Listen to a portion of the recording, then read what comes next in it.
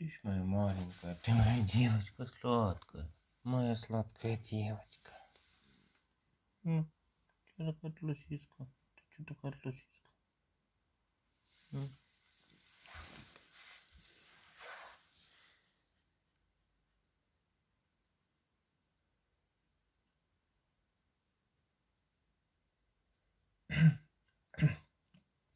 Здравствуйте, мои дорогие подписчики. Сегодня я хочу вам показать поведение шпица девочки перед предстоящими себе родами.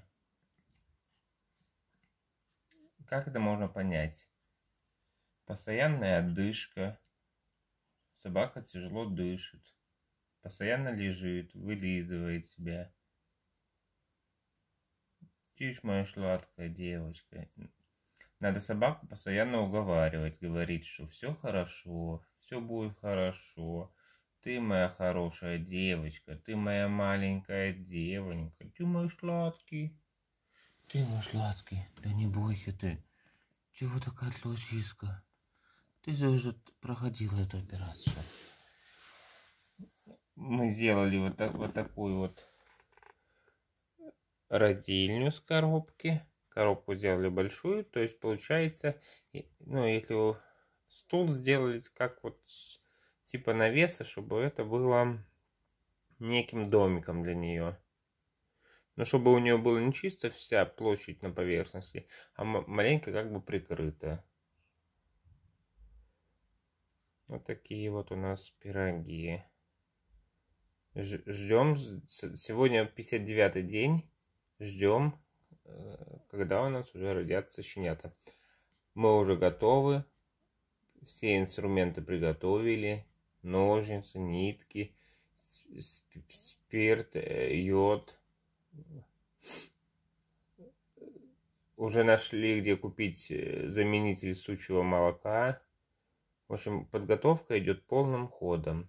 Потому что в, в тот раз, когда она у нас рожала первый раз, ей было два с небольшим года.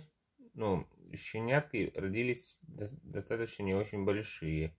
Два, два из которых были очень маленькие, и нам их спасти, ну, ввиду того, что мы неопытные, не удалось. Но ну, зато один такой хорошенный э, вырос. Ему и молока хватало, и всего. И в месяц он уже был такой бутузик, что он уже начинал э, тырить жужин корм. Его подкармливали йогуртиками, гушей, темой, мясными, овощными, э, детскими пюре. Но ему уже хотелось взрослой жизни. Он уже ел жужин корм. В этот раз, конечно, вот, не знаю, если верить сну, нам приснилось с э, женой, что у нее родится четверо щенят. В тот раз было трое, ну двое э, умерли, а в этот раз родится уже четверо щенят. И э, как вот приснилось, два будут покрупнее, два будут помельче. Но вроде бы как все должны выжить.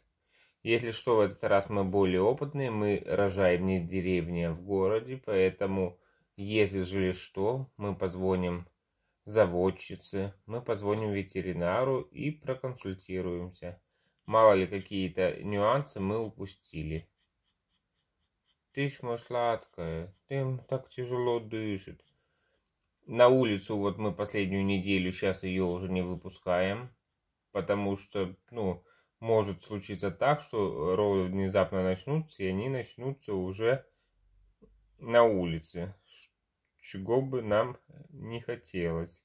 Поэтому мы постелили пеленки на кухне, и там она у нас, конечно, будет уже э, заниматься родами. Так, в принципе, все нормально.